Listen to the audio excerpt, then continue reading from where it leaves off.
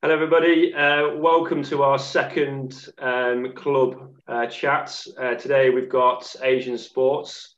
Uh, we're joined by Punit. Punit, are you president of the club? Is that right? I am. I am indeed. Yeah. Yes. Okay, cool. Uh, so, president of Asian Sports Cricket Club, and we're also uh, joined by Dave Allen, who is the City Development Officer. Um, so, we're, we're going to chat all things Asian sports this afternoon. So, Punit, welcome. Welcome to the chat. Um, so, first question is an opportunity for you to tell us about the cricket club. Thank you, Andy, um, and, Dave. Hello. Um, so yeah, from from from our side, um, firstly, sort of uh, thank you for the opportunity um, for for us to kind of showcase our club um, and give you information on sort of who we are, what we do, how we do things.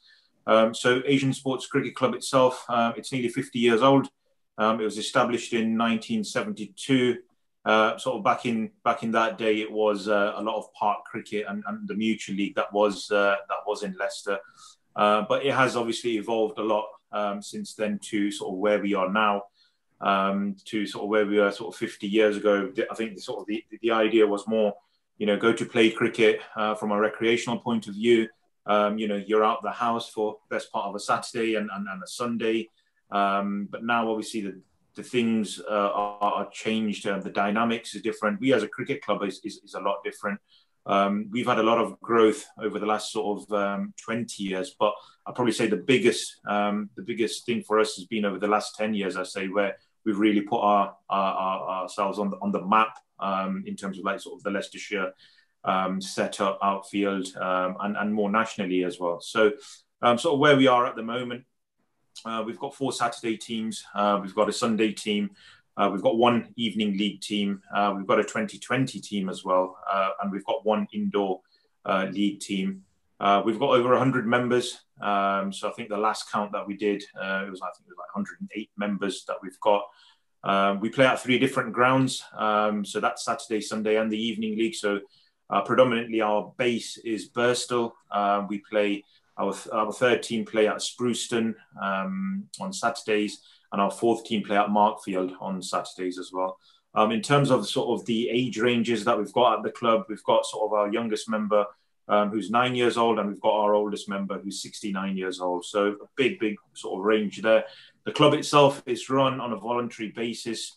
Uh, we have a committee of nine, and uh, I have uh, the uh, fortunate uh, role and president of, of running uh, my committee, who are, who are absolutely brilliant in, in, the work that they do, um, which, which I said is, is all voluntary and unpaid.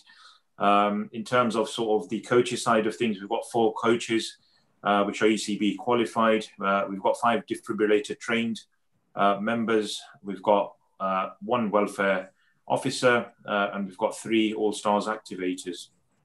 So that's where we are from a from a sort of a club um, a club, club perspective itself. Um, and like I said, sort of you know we've been going for, for nearly 50 years now, but I'd probably say for the last sort of 10, 10 to 20 years has been sort of our biggest change in what we we, we do, um, what what our sort of uh, thinking is, what our aims are, what our objectives are, and uh, and we look to continue um, on this journey.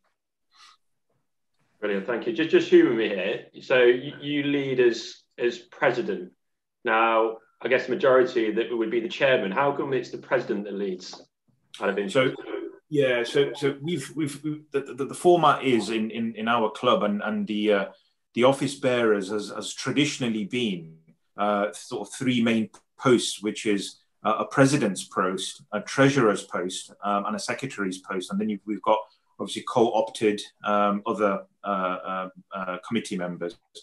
Uh, but the president's role is actually sort of a, a, a, joint role, like a chairman's role. So I'd probably say it's a, it's a chairman stroke president's role, all all rolled in in one together. Uh, whereby sort of my role is that I manage um, my committee from a from a overall standpoint. All our committee members have got a specific role that they play, whether it's something to do with the youth, whether it's the finances, whether it's the admin side of things whether it's sort of comms, uh, whether it's the internet now. Um, you know, we've got one guy that just looks at our sort of Facebook and the website and, um, you know, social media side of things. So all of our uh, nine committee members, they, they specialize in a, in, in, in a specific role, and I overall arch everything. Cool, thank you.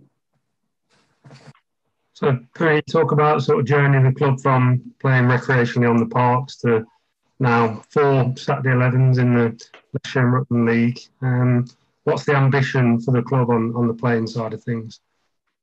Yeah, so for us, um, like I said, you know, we started in the in, in the seventies, and it was a very family-based, community-based club um, when when it did start in the seventies. Then it obviously got uh, bigger and bigger, and from playing sort of mutual league, it went into sort of the Leicestershire League, which was obviously a little bit more structured, a bit more.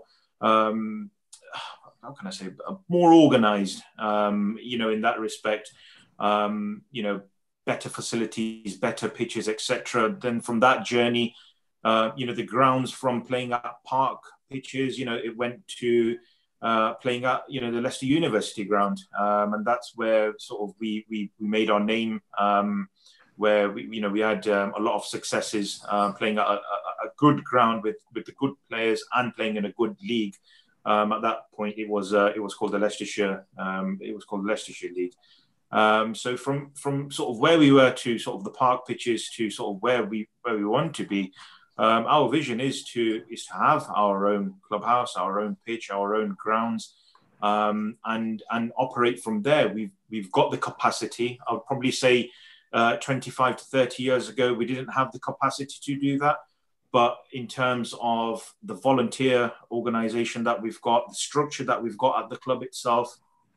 Um, and you know for the last 10 years we've done you know family fun days uh, you know charity events community events um, we've done you know the barbecues the um, uh, you know the um, uh, different type of sort of social club events um, sort of incorporated the youth the women um, so we've set ourselves up very well so you know the ultimate dream and the ultimate plan is for us to manage our own grounds from a uh, from a playing perspective, from a groundsman perspective, all the way to uh, hiring it out. Brilliant. In terms of that, that kind of senior senior sort of side of things, what's the kind of ethos? What's the kind of culture do you like to to get over to your players when they represent the club and you know wear the wear the badge on the shirt? What sort of things do they do you kind of preach over to them? Sure. So so so for us, um, as I said, sort of the last ten years has been a benchmark where we've got in a lot of rules, we've got in a club constitution, we've got a lot of sort of player related documents um, that sort of states what is good, what is not, not good. Um, we've got a mission statement which I'd which I'd like to sort of read out as well, um, and it's it's on our club website and uh, and something that sort of we're very proud of. It's it's, it's a little bit lengthy, but I hope I do cover uh, you know uh, the, the question in this. So our mission statement reads. Asian Sports Cricket Club aims to provide a safe, secure, and friendly environment to learn, develop, and play cricket. We are a respected cricket club within the local community and the area of Leicestershire. We promote cricket for all ages. We want to ensure that the development of our young cricketers is at the forefront. We support women's cricket and want to make sure that the numbers increase in this participation.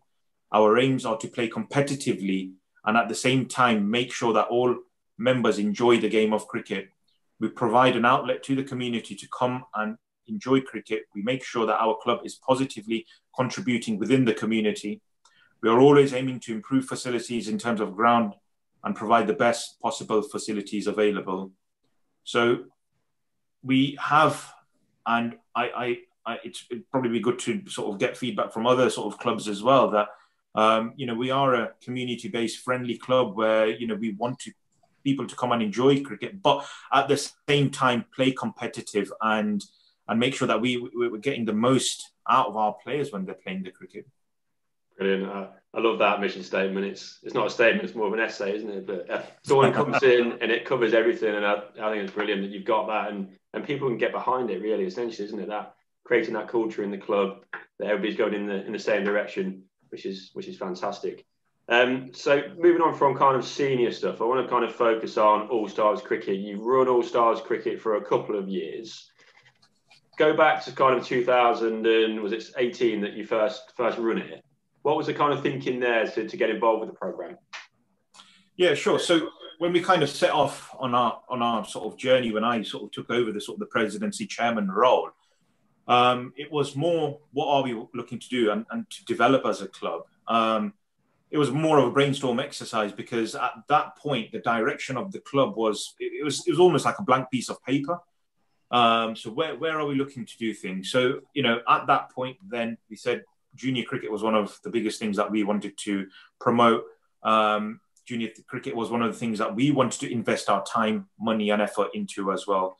Um, there, had, there was a lot of players, um, and there still is at the club, where you know they were young dads, where they had uh, young children, and ultimately their children were going to other clubs to to play and practice and so forth. So the idea was that you know th- these these dads that play for our clubs would and should bring their children here if we had we had you know some sort of a program. So that's kind of where the journey started for us when it comes to sort of youth cricket and and the development of that. Now, the All Stars program for us um, last couple of years that we've run it. So in 2018 and 2019. So first year we ran it, we had 17 participants. The second time we ran it was in 2019. We doubled, we practically doubled it. We had 38 participants. Uh, and this year was really good as well because although we didn't run the program before we even actually started promoting it, we had 16 already signed up. so it was good. But the, the, thinking behind that was it was a ECB led program. Um, we wanted to be part of that program. We wanted to promote the All Stars program itself, and and we actually believed in the program, um, where it was for children that are aged between five and eight to have fun. Um, when I was sort of brought up playing cricket, it was more sort of drills based. Um, I'm not saying I didn't have fun and it wasn't enjoyable, but in my era, it was more probably right. You know, you're in the nets for one hour and it's going to be the front foot drive that we're going to practice, and we're going to practice that for a good 45 minutes, and, and the other 15 minutes is going to be the review of it with with all sorts of recordings hey, and stuff. You ever play that shot now? Yeah, I do. it's my favourite shot, actually. so that's what it was about. But um, you know, and, and I started cricket at a very very early age as well. But now, obviously, the, the era's changed. Obviously, we're in a new generation, and I think this, and, and when we've discussed it as a committee, the All Stars program actually does work. It's not about just like drills and catch the ball like for an hour or uh, one specific things. It's, it's for the kids to have an enjoyment and enjoyable experience. So um, ultimately, we we really bought into the program. Um, you know, obviously, the, the, second year that that we hosted it when it was launched. Uh, for us, it was an enjoyable experience. We the good thing for us was as well, we kind of catered for obviously the, the, the, the local sort of community and, and, area, but for us it was um, something that we did. Uh, we put kind of our stamp on it as well. So like every every sort of session, you know, we'd, we'd have a you know snack for the juniors, or we'd get them all around and um, you know just just say something that's you know sort of enjoyable and inspirational to them and the parents and. Uh, we'd offer them sort of free tea and coffee. Um, you know, we, we would have a party for the kids at the end of of, of the of the of the of the sort of the, the six to eight week session. So it was a, it was a good sort of um, experience for us for us to host it. And going back to the sort of the youth setup itself, it gave us even more confidence that when we do you know formalize a youth setup in our in our club, um, we know sort of what we're looking for and what to do and, and how to do it really. Brilliant. Good stuff. I mean, you know, from my perspective, seeing that growth in All Stars cricket, it's, it's been fantastic. And you know, to had 16 signed up before you'd even advertised it, kind of shows the great work that you're doing. You know, and I think that's just going to keep on keep on increasing. And um, you know, it's quite an exciting future in terms of the All Stars. And yeah, did you have plans for Dynamos in 2021? Yeah, we were signed up. Yeah, we were signed up for Dynamo because obviously quite naturally it's a it's a good sort of um, program to go on because when we were finishing off both of the years that we finished off um, and I'd, I'd, I'd, give obviously a, a, a, little speech and then you know we'd cut the cake and everything. And parents would always ask me they'd always say right what's what's next now? So you know we finished the sort of the program off now. So what's next? You know can my can my you know child carry on? And um, obviously, we've got links with you know two two other clubs that uh, that's you know specialise in in youth cricket, not men's cricket. Um, and I, you know, we work in partnership with these clubs, and and they're the numbers that I would give them to say, you know, there's there's one club that's based in sort of the Belgrave area, another club that's based in in the Crown Hills area. So um, whatever that was suitable for them, if they wanted um, to, to go there, they, they would they would go there. So um, you know, it was it, it, was it was it was absolutely brilliant that the Dynamo's cricket program would then ultimately run from this program. So for us, it would it was a natural uh, program where you know children from eight onwards be going on to the Dynamo program, but uh, unfortunately, obviously, we weren't able to to obviously run it, but we we definitely um, run it for, for for the future. Good stuff. Look forward to it. Uh, you mentioned quite a few events and activities that the club has done to sort of appeal to wider audiences other than just the, the men's playing side of things. And one of those that you won an outstanding service to cricket award for was a women's softball festival. Just tell us a bit about the work that went into putting that on and maybe the impact that that's had on the club. Yeah, it's a good, good question, Dave. And um, again, um, sort of just sort of reiterating sort of where we sort of started the journey, where we were looking at what we want to do as a club. Youth was obviously one thing, but women's cricket was was another thing. Um, there was always sort of women's cricket in Asian sports in one capacity or another, but it was very sketchy. It was probably the right word to use, where um, nothing was actually formalized or nothing was actually sort of like, right, you know what, we're going to kind of do this on, on this day and this is how we're going to do it. It would be kind of sort of ad hoc and, you know, in season and, and not, not, not, you know, sometimes, you know, planned to, to how we'd want it. But again, this was really good for us because it was the women's softball event. Um, I think it was, we were being sort of, you know, in the right place at the right time. I was sort of speaking with, um, sort of different people um, at the time just to say, you know, how can we kind of promote women's cricket? Um, and along came, um, you know, a couple of people from sort of Leicestershire, and we kind of sort of worked hand in hand and put the actual event together. Um, so it was done at our, our, first team ground, which is at Birstall. Um, it was absolutely brilliant. You know, the, the, day itself, you know, it can't have been better because you know the weather turned out nice as well. Uh, we had, I think it was just you know just under 100 people, uh, participants that that came. Obviously, with them, their families. Um, it, it was it was a really really good day. A lot of work went into it. Obviously, in terms of a lot of meetings prior to to the event, um, but we were working in a good team. Um, I had a good team of volunteers that day that helped me.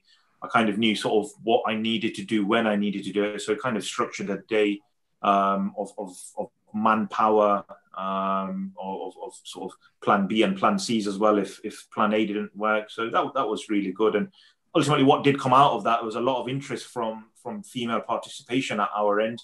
Uh, we continued the Bollycrick side of things as well. So um, uh, that was my wife that sort of continued the Bollywood Bollycrick side of things. Um, and then, yeah, you know, the ultimate goal for us is to have a, a sort of a formal women's cricket team um, that plays, and and and also uh, something that is uh, not just cricket, but like a like a social program attached with them as well, as we've done with with the men's side, where you know we do have you know curry nights and quiz nights, and you know we go to the bingo, and you know just just things like that, but just something for for women's um, group as well. So that's that's the ultimate goal for us as well. I guess that kind of leads nicely on to the next question. And you've mentioned a couple of areas, but you know, going forward, fast forward in, in, in, into the future, where do you see sort of Asian sports being in three to five years? What kind of things do you want to, you know, change for the for the better at the club? Yeah, so it's like so the good things that we do at the moment, we still want to continue. That's yeah. that's sort of our backbone. Um, you know, we, we, we, we play cricket on the Saturday. We all meet up for a drink. We, we very, very much promote that everybody comes back to Birstall, and that's our base um, after every single game on a Saturday. So uh, things like our curry nights, you know, um, you know, going, uh, you know, meeting up at Birstall, um, our you know annual family fun days, um, the annual dinner and dances that we have, um, the uh, uh, the parties and the community days and so forth, we still want that. The extra things that we want to sort of uh, uh, see and what we're working towards is the is the youth setup, uh, a formalized junior and youth setup, um, and again with with a social program for them as well. So ultimately, they are playing cricket, but uh, we'd like to do something where we're not just sort of orientating everything around cricket all the time, but what we are looking at is um, something else that we can offer as well uh, when it comes to sort of the junior program. Um, and sort of the way things are at the moment, where you know, obviously, if, if, if, you know we didn't have a COVID situation and stuff, we had enough members that we could even potentially have a have a, have a fifth team. You know, like um, and, and and a junior setup that we can put in a in a fifth team. So that's uh, you know what we're sort of aiming towards. From a men's standpoint of view, um, you know, we need to continue the progress that we've made. So our first team started sort of in you know in, in Division Seven. Now we're in Division Three. So we need to continue up on that on that trajectory. Um, but for, for us, the plan is for in three to five years, we we need to be sort of aiming for that Premier League Division One cricket, and that's what we're setting up for from a grounds point of view, from a sort of a personnel point of view. So we've we, we're aiming sort of quite high, and that's what that's what we want from a from a grounds point of view and, and a clubhouse point of view. Um, of you know what sort of how I spoke about before, where we are. Um, it's quite limited in terms of what we can do and how we can develop there because it is obviously um, a, a, parish council um, that, that obviously that, that we deal with. But ultimately, we want to have our own ground, manage our own ground, and, and, and have a Premier League, you know, status ground ultimately where we can, you know, continue to host our social events and along with what we've got um, on, the cricket side of stuff. Um, one big thing for us is we we want to get onto sort of the ECB club mark status um, ultimately one day where we're able to um, you know be, be proud of, of, of the ECB club mark um, for us we want to continue as as obviously the inner city cricket club that we are um, obviously you know share good practices be the beacon and, and benchmark for inner city clubs um, and as I said continue with with you know with the work that we've done and and then obviously um, positively, you know, look at um, the junior setup and the women's cricket uh, in a more formalised uh, event, along with our, our grounds. Brilliant. That's quite exciting to hear. Really, you know, there's there's a lot of stuff in there, um, but it's nice to hear you kind of sort of want to stay to your, you know, sort of true to your roots as an inner city club. You know, and I, I think that's really refreshing, and you know, it'd be great to, to see a club mark um, accreditation in a couple of years. Um, you know, and I, I, think you're already on that journey. To be honest, you know, a lot of the, a lot of the work we've done in, in the past in terms of setting up all stars and working around the governance side of things, I think we're on well on the way. So you know, it's a really exciting future. Dave, have you got any more questions at all? Yeah, I think just obviously you guys are fairly well progressed in your journey, but what advice would you have for a club who's just starting on that track? What what advice would you give to them? Good question. Sure, sure. Uh, good practice is always um, uh, good to be shared. Um, so obviously, from a from an inner city club uh, perspective, um, we've obviously you, you, know you've heard the the kind of setup that we've got, what we do, um, sort of how we do things. I, I do advise that um, the club itself it, it needs um, a, a, a, committee uh, and a committee that's willing to um, do a lot of things. A committee that is going to come with different ideas. So I would say the committee should be brainstorming. Um, the committee should see uh, what the requirements are for the club, for the for the members itself. No two clubs are ever going to be the same, whether it's an inner city club or a or a or a, you know a, a village based club, you know. Um, but I think the requirements are, are very important of, of what um, you know uh, to, to to run the club itself. I think what for for, for us uh, and the success that we've we've had is um, it's not only been cricket. Um, we do the other social events as well, um, tied along with cricket itself. Um, and we do the community and sort of charitable events that are tied with the cricket as well. So at this point, you're not kind of completely, you know, focusing on, on cricket, cricket, cricket all the time. You're kind of into sort of twining cricket and interlinking cricket along with other sort of, you know, community events and charity events. You know, one of the things that we do is uh, Youth Coaching, for example, um, the youth club that runs on a weekly basis in summer. Uh, we have a set session um, of, of uh, coaching um, sessions that we do with them. Um, so our coaches will go there and, and, and, and coach the, the, the, youth club there. And after that, they'll, they'll probably go for a beer um, and, and sort of a bit, bit of a socialize as well. So it's not literally just focus on cricket, but it's, it's, it's other things as well. But um, for me, I think if you've got a, a, good committee, a strong committee that's um, that's positive and wanting to look at what the members want and facilitate what the members want and do the you know the regular activities in terms of you know like I said the social events, the parties, the the you know the, the award ceremonies, the fun days, etc. Uh, I think you you would probably be on the right path there. Brilliant. I think that's um, a really nice way to end. Um, so, Punit, thank you for your time. Really, really appreciate it. Um, as I said, I'm excited to, to see where uh, the future take, takes the club. Um, and yeah, thank you very much. And hopefully, have a good winter and hopefully get going into into the summer, into back to some sort of normality. Thanks, Andy. Thanks, Dave.